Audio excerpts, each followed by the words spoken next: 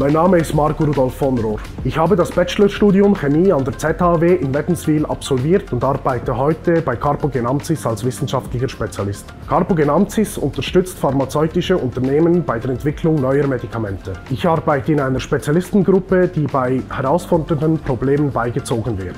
Meine Aufgabe besteht darin, Verfahren zu entwickeln, um aus komplexen Mischungen Reinstoffe zu gewinnen. Dafür setze ich eine große Anzahl von Analysen, Methoden und Geräten ein. Mein wichtigstes Arbeitsgerät ist mein Laborreaktor. Er ist das Modell einer Produktionsanlage und ich kenne ihn in- und auswendig. Komplexe Geräte und Methoden faszinierten mich schon während meiner Laborantenlehre. Für das Studium an der ZHW habe ich mich entschieden, um die technischen und theoretischen Hintergründe noch besser zu verstehen.